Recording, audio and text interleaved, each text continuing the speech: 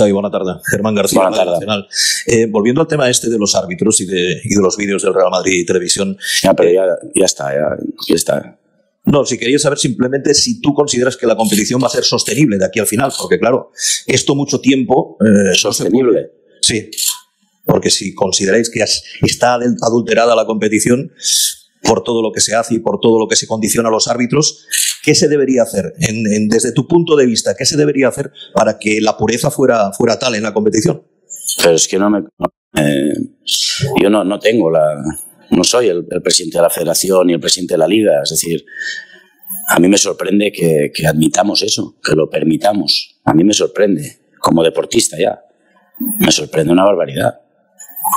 Que he dicho que adultera la competición por completo, por completo, vamos. Y semana tras semana. Condicionan al máximo. Eso es una realidad. Lo ve, lo ve un ciego, ¿eh? Víctor, oh. Víctor No dijo Simeone, ¿no? Simeone, este- mira, el Cholo Simeone dijo, ¿no? Que no somos, ¿no? No somos. Esta una y que luego que no somos tontos. Que no somos tontos. Pues claro, pues claro que lo vemos y lo ve todo el mundo. Pero sois vosotros los que tenéis que, que decir, ¿no? Los medios de comunicación, esto. Que no somos tontos, estoy con el Cholo Simeone. Vamos, Tontos no.